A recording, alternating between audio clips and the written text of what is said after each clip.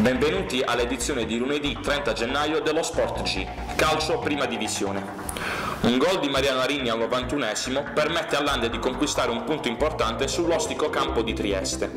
Al Nereo Rocco la Triestina passa in vantaggio con Curiale nella prima frazione e viene raggiunta nel finale dai biancazzurri di Mister Cosco grazie ad una pregevole azione personale di Minesso e il tapping vincente di Arini. Al termine della gara alcuni tifosi andriesi hanno discusso in modo civile con il tecnico Molisano in merito ad alcune scelte di formazione. Termina 2-2 la sfida del Puttili tra Barletta e Virtus Lanciano. Abruzzesi avanti di due reti a segno Chiricò e Pavoletti, ma la squadra di Mister Cari, contestato dalla curva, reagisce e trova il pari grazie a una doppietta del solito Mazzeo. 10 le realizzazioni stagionali per la punta biancorossa.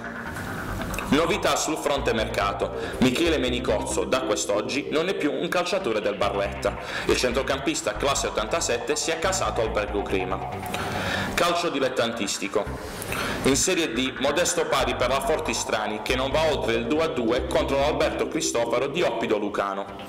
Sul terreno del comunale i bianco-azzurri chiudono il primo tempo in vantaggio di due reti, doppietta di Sallustio, ma nella ripresa gli ospiti approfittano di un inspiegabile rilassamento del team di Delli Santi e prima accorciano le distanze con Dama e poi firmano il definitivo pari con Possidenti. In eccellenza continua il momento no del Biceglie, che dopo la sconfitta patita al Ventura contro il San Paolo Bari esce con le ossa rotte anche dalla trasferta di Copertino.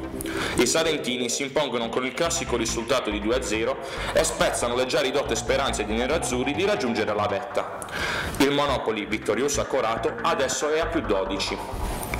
Nel campionato di promozione, importante successo casalingo del Minervino che supera 2-1 il Canosa nel derby della Bat.